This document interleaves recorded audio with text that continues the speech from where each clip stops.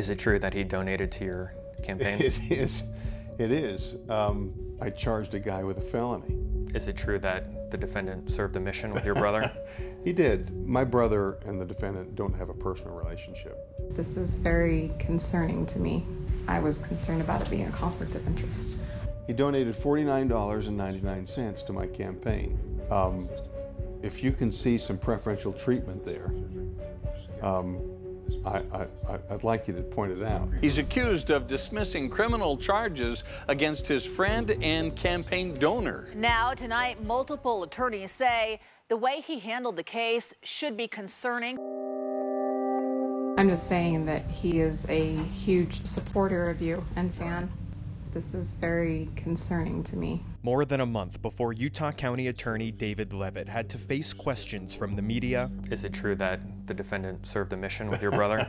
he did. He was answering those same questions from the alleged victim, who wanted to know why her stalking suspect, Mark Stewart Allen, was so cozy with the prosecutor who would eventually drop charges. Really obsessing about this. I know because I saw it three times a week every or three times a day sometimes. Yeah. When I, when I was running for attorney general. Leavitt told her the suspect donated $49.99 to his campaign for Utah Attorney General, but insisted that was not a problem. He should not have personally involved himself in the case. There was nothing to gain and everything to lose. Linda F. Smith is an attorney not affiliated with this case and serves as a member of the Ethics Advisory Opinion Committee. She says Leavitt should have never taken the case away from the prosecutor who was originally assigned. The defendant prepared a fairly large binder of information, gave it to my brother, his former missionary companion, my brother forwarded it on to me. The defendant's strategy clearly was to get Leavitt directly involved. That's the most suspicious thing. The the degree to which people were coming up to him and said, "Hey, David, dismiss this case. Handle it um, this way." Leavitt says the suspect reaching out did play a role in him taking on the case personally. It certainly was one of the reasons. He says another reason is the original prosecutor refused to drop charges against the suspect. I said, you know, Lance, if if if you don't feel comfortable doing that, I'll take the case. I'll do it because I care about the victim. Well, and you're his boss. Well, well, it's my case.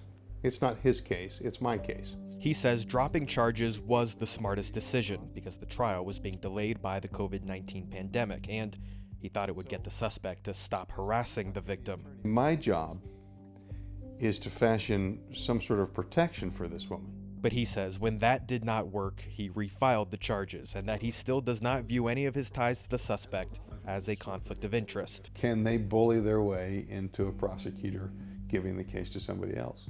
Well, maybe they can somewhere else, but not with this prosecutor, they can't. Do you think it's bullying if it's coming from a victim? I don't think this is come. I mean, I think the victim, frankly, I feel sorry for the victim. Uh, my and my heart goes out to her. The better uh, decision is to not be involved in the case. Dale Bowles is a nonviolent guy who's just trying to get to work. Did you wall yourself off from the case? Um, I don't know. Do you think you should have? Um, no, I don't. Whoa. Really? He really said that? He really did that? Like, really? In front of people? The Fox 13 News investigative team has spoken with at least six past and present members of the Utah County Attorney's Office who are deeply concerned, quote unquote, by what they describe as unethical behavior by their boss. Now, employees say Leavitt also asked them to go easy on a handyman who did work at the county attorney's home. I ran on a platform to change the culture of the Utah County Attorney's Office. Have I done anything wrong? Not at all. Prosecutors say they knew when David Leavitt was elected Utah County Attorney, it would fundamentally change the way some cases are handled. It's, it's not my case, it's his case. It belongs to him. But prosecutors like Lance Bastian, who have since left the office, say what they did not like was when Leavitt would intervene on cases where he had a personal relationship. Starting in 2018 with the traffic case of a handyman who worked at Leavitt's home a man who has been booked more than 40 times by the Utah County Sheriff's Office. Among my very first meetings was to say, let me tell you about Dale Bowles. He said, that gentleman and I have kind of a personal relationship. He's done a lot of work for me at my home. He's kind of a handyman. And I said, how in the world are we helping society by taking a person like this and continuing to keep them down and down and down. Once he's told his staff, wink, wink, I want you to handle this case a particular way, that probably created a personal conflict of interest for all of his staff. She says Leavitt should have never used his friend or employee's case as an example of the office's new policies. It blew me away. It blew everybody away. I mean, that was all anybody could talk about for the rest of the day because it was so wildly inappropriate. But that is not how Leavitt sees it. While some say the personal relationship means he should have steered clear, he says that's why he brought it up as part of a bigger policy discussion. I, I used the Dale Bowles example because I'm so intimately involved with that example. I encourage my, my prosecutors to get as close to every case as they possibly can. Pick up another file from the office and learn the facts and use that as an example. Let the staff put two and two together. Bowles was charged with driving on a suspended license, an interlock violation, and driving with a broken headlight. All charges, except for the broken headlight, were dismissed.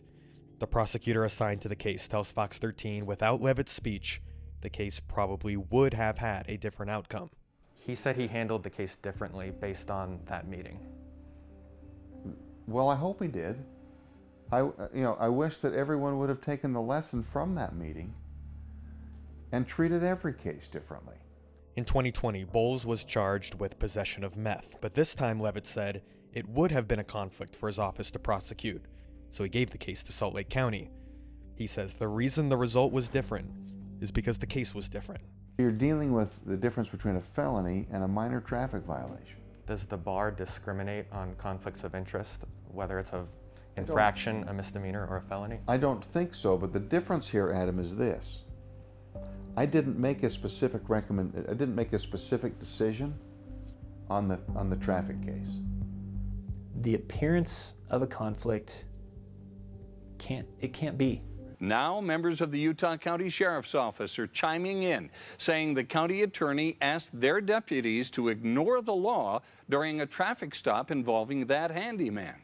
Well, when we interviewed David Leavitt last month, he was quick to point out that he has enemies at the Utah County Sheriff's Office. The sheriff says the two do not see eye to eye on how to enforce the law. And now we found those issues have especially come to a head as we look closer at the way Utah County has handled multiple criminal cases involving Leavitt's handyman. For years, Dale Bowles has been in and out of the Utah County Jail for many of the same charges driving under the influence and driving on a suspended license. He's an addict, he's got a real problem and needs to get a hold of it, but he's having a hard time doing that. But on November 13th, 2018, Bowles did nothing wrong. He was simply in the passenger seat when a woman got arrested on drug charges. Deputies described the traffic stop as routine until they got a phone call from Bowles' boss. The deputy took the phone and talked to this person, and he told him his name was David Leavitt and asked him if he knew who he was. Don't know how it was intended, but it just it just seemed unusual. Uh, Mr. Leavitt had been elected county attorney but hadn't yet been sworn in. Dale worked for me. That's the short answer.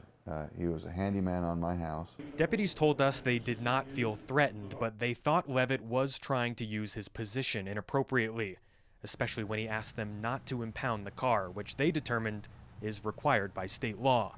So they impounded it anyway. That seemed inappropriate, yes. And the deputy said that when he realized who it was, he just kind of shook his head and couldn't believe that he was being asked to not impound the car. He shouldn't be representing the defendant when he's the county attorney. Linda F. Smith is an attorney and member of the Utah State Bar Ethics Advisory Opinion Committee. She agrees with the sheriff's office that Leavitt getting involved was inappropriate. 19 days ago, Fox 13 sent an email asking Leavitt to explain what happened. He has not responded despite multiple follow ups. It was so wildly inappropriate. Let's fast forward now to January 2022. Deputies say they arrested Bowles twice that month, in both cases for DUI and driving on a suspended license. So far, records show he has not been charged for the January 6th arrest. In the January 26th case, deputies say he was trying to hide fentanyl. He had hidden that inside his body and it was found inside the jail. Deputies say when Leavitt's office screened the case, they were shocked. Prosecutors only charged Bowles with misdemeanors and not a felony. They're not sure if Bowles received any special treatment from his boss. We don't always agree with the charges that the county attorney does, but sometimes their decisions make less sense than others. Last month, in a phone call with Fox 13, Utah County Sheriff Mike Smith told us he feels a lot of criminals are being treated too leniently. Quote, I don't agree with the way David Leavitt does things. I don't agree with his policies.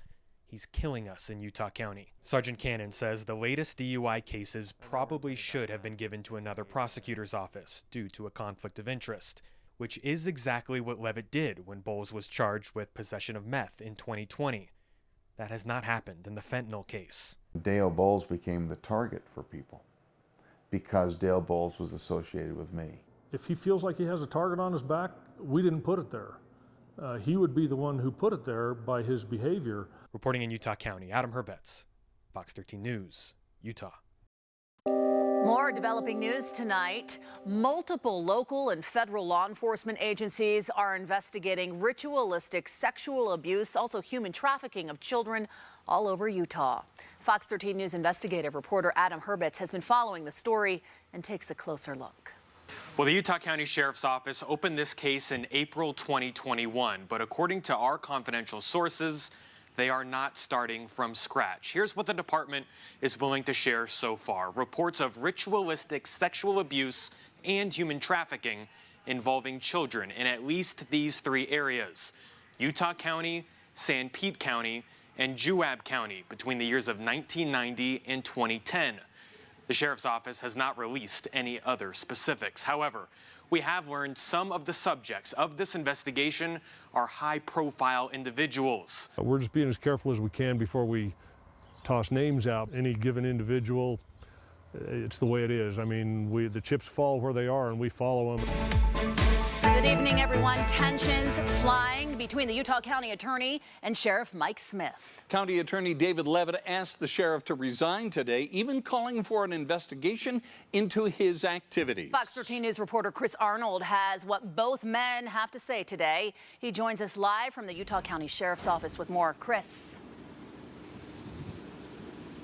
Well, Kelly Bob, this all stems from an investigation into allegations of a child, a ritualistic child sexual abuse case that is in child sex trafficking. Now, County Attorney David Leavitt said the case involved a woman who he says was tragically mentally ill and made claims of sex abuse against 15 people. Those are allegations Leavitt says were found to not be credible, causing the case to be dismissed. Now, Leavitt said during a press conference this afternoon that he and his wife were named in those allegations, saying the two were guilty of cannibalizing and murdering young children. It was, it was debunked more than 10 years ago. It was dismissed. I take exception to any victim who comes forward and is, cat- and is characterized as tragically mentally ill. How dare you? And Tribal Social Services looked at us and said, we're not giving you this baby. This video was recorded by a documentarian in 2020. It's 17 minutes long, and it shows Utah County Attorney David Leavitt telling the story of how he managed to adopt a tribal infant in 2017. And finally, this strategy comes into my head. And if you got five minutes, I'll tell you the story. As he describes it, his strategy meant hopping on a plane to Montana, then walking onto the reservation unscheduled to meet with the president of the Northern Cheyenne tribe. I said, I'm, I'm here for two reasons. I said, I'm here to tell you the second reason first, um, but I'll tell you the uh, I'll tell you the first reason second. And I said, but before I tell you the second reason, I want to tell you a story. his story touches on the importance of family. Then it highlights his close friendship with former Ukrainian President Viktor Yushchenko. Victor and I have this goal of introducing buffalo into Western Ukraine. And you're a sovereign nation, and you have a buffalo herd, and Ukraine is a sovereign nation, and it, and it doesn't have a buffalo herd, but it wants one. And so I'm here to try and inform, see if we can form a bilateral agreement between the people of the Northern Cheyenne and the people of Ukraine to introduce buffalo to Western Ukraine. And at, at that point, you know, he was all ears. I bet. And I said, that's the second reason why I'm here. The first reason why I'm here is this that we want to adopt one of your people. He says tribal president Jace Killsback gave his blessing, but tribal social services did not. So Leavitt went back to the president to try again. Watch and listen to how he describes the tribal president made a compelling argument to help Leavitt clear that final hurdle and take home the child that same day. He said, listen, uh, the Leavitts are friends of the tribe. He's an asset to the, they're assets to the tribe for more than, more than just this. I left, and five minutes later, the phone rang, and um, it was the social worker saying, I, think I think I figured out a way to get this child to you. Jace Killsback has declined to comment. At the time of this interview, he was in prison for fraud in an unrelated case. Not every child needs to grow up um, in the city, um, green grass, um, white picket fence house. It's best for the Native children to remain in Native communities. Stephanie Benally, a Native American specialist for Utah foster care, is not just giving her opinion in this interview. She's describing federal law, the Indian Child Welfare Act. It was passed in 1978 to protect Native American children from being adopted by non Native families. Prior to the act, 25 to 35 percent of Native children were removed from their home and placed um, in non Native homes. There's such a prejudice in the Native community about uh, a non Native adopting a Native. Leavitt says the child is family. Technically, she's his step, foster, great niece. They might not be related by blood, but ultimately, the tribe gets to decide who's considered family. According to court documents, the child's biological mother willingly gave up her parental rights, but the biological father did not. Let, let me put it this way. Um, I would like our elected officials to be um, servants of the public and not self serving. Linda F. Smith is a member of the Utah State Bar Ethics Advisory Opinion Committee. She also taught ethics at the University of Utah for more than 30 years. She says the video is concerning in more ways than one. He was clearly um, politicking to get his way. It was um, a little smarmy, a way to talk somebody into uh, letting you adopt uh, a child that may might otherwise be better raised by the tribe. David Leavitt is the same county attorney who named himself as the subject of a ritualistic child sex abuse investigation. Last month, he announced he is not a murderer, a cannibal, or an abuser. And he accused the Utah County Sheriff of playing politics right before the primary, even though Leavitt was not publicly named. This is not a politically motivated investigation. I mean, is it disturbing? Yeah, it is. You have to kind of separate that and not let that, not let emotions affect your investigation at all. Noel Engels is a former analyst with Homeland Security. He confirmed his team had been investigating sexual allegations against Leavitt for several years. Then, in 2020, Homeland Security received the video and started investigating for human trafficking. It's literally our job is to make sure children are safe. Five months after receiving the video, documents show Noel and his team were removed from the case. He has since filed a whistleblower complaint and received back this letter. You allege that Homeland Security improperly terminated an investigation into allegations involving current Utah County Attorney David Leavitt. We emphasize that while the Office of Special Counsel has found a substantial likelihood of wrongdoing based on the information you submitted in support of your allegations, our referral to the Secretary for Investigation is not a final determination that the allegations are substantiated. This is not how you adopt a child. Um, this is how you procure a child. We reached out to David Leavitt for an explanation last week. His spokesperson said he would be happy to tell the entire story, but not until after tomorrow's election because they believe, quote, this has no bearing on his performance as Utah County Attorney and is not relevant. We want you to know we are publishing the full 17 minute clip online at fox13now.com. And I really want to call out Fox 13. Are they here? That you? Shame on your news station. Shame on Adam Hurwitz. That's Utah County Attorney David Leavitt, upset with Fox 13 News for asking about allegations against him. Rather than answering our questions, Leavitt held a news conference to announce he was the subject of a ritualistic child sex abuse investigation that would probably go away soon. But that hasn't gone away. Today, prosecutors talked about the case in court. Tonight, Fox 13 News investigative reporter Adam Herbets joins us in studio with information about another suspect with ties to Leavitt. Adam. Yeah, Bob Kelly, we want to be clear. We never named David Leavitt or anyone else as a suspect, and neither did investigators tied to this case. Most agencies don't want to talk about it, but today in court, a judge asked many of the same questions we've been asking. And for that reason, we finally got a few more answers about the direction of this investigation. There is no organized ring of abuse. It was, it was debunked more than 10 years ago. It was dismissed. He says it was politically motivated, but even his own employees now say they disagree. I would take exception to the suggestion that this is politically motivated.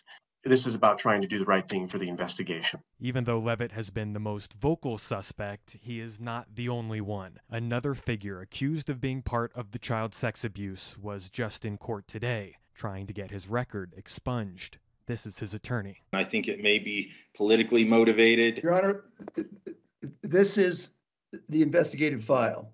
So there is um, about a thousand pages of, of uh, information there.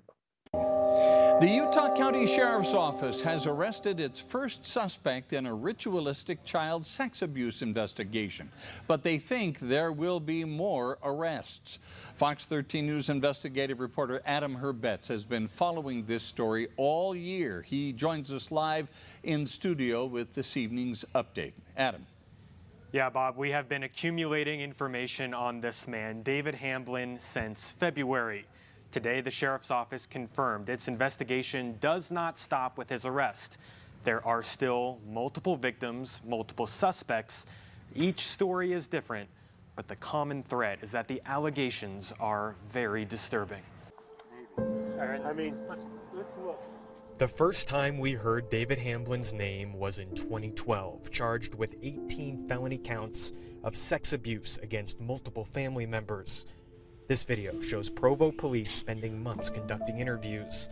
Then they recorded an undercover phone call where he confessed, I am sorry for raping you. I'm not saying somebody in my body didn't do it. The Utah County Attorney's Office dropped the charges. Do you think this time it will be different? I do think it will be different. Brett Bluth, another victim, says David Hamblin was his therapist, recommended to him by the Church of Jesus Christ of Latter day Saints to cure him of his homosexuality. Did you feel like being gay was a disease? Absolutely. Do you expect there will be additional arrests?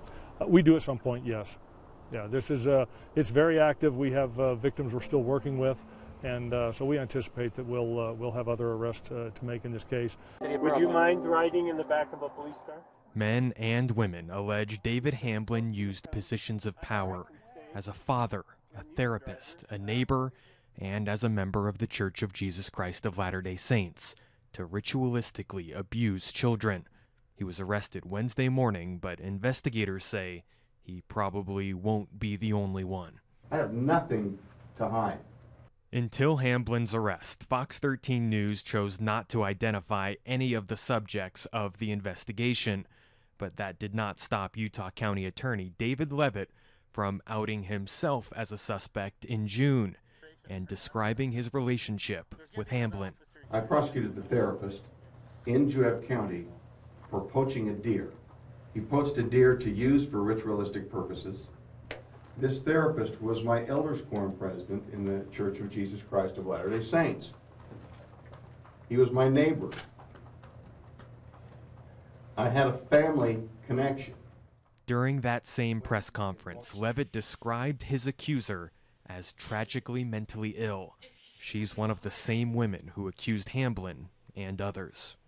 Shame on you for doing that. That's it's uncalled for. He said tragically mentally ill woman five times. To attack their their mental health status as a way to discredit them, and it was clear that that's what he was doing, and that's that's just not okay. There, there is no organized ring of abuse. It was it was debunked. But watch and listen. More than two years before that press conference, Leavitt sat down for a different interview and was asked if he thought ritualistic sex abuse was real. He went on to describe Hamblin and his own accuser, calling her a victim. Do I think that occurs? Yeah, I think it occurs. I know some victims of it. Yeah, they they. I know some victims of it. I I was not in a position to prosecute it. Who was into oh, Native American stuff? Had killed deer and get deer hearts and drink their blood and drink the deer's blood. At the time, Leavitt was under investigation by Homeland Security. These clips are now evidence in that case. We want to warn you, some of them are very graphic. How do you train a dog to roll over when it's time to roll over? You know, you do it by giving a reward and repetition. If a man wants to program some little girl to give immoral sex anytime he wants to, you start young and give rewards. you know, I mean, it's unfortunately, I, I've never, you know, it's the same way you help a child learn how to make their bed. Yesterday, after Hamblin's arrest, we asked David Leavitt through his spokesperson for a comment. We were told no, he does not comment on pending cases. Apparently, that did not stop him in June. Reporting in studio tonight, Adam Herbets, Fox 18 News, Utah.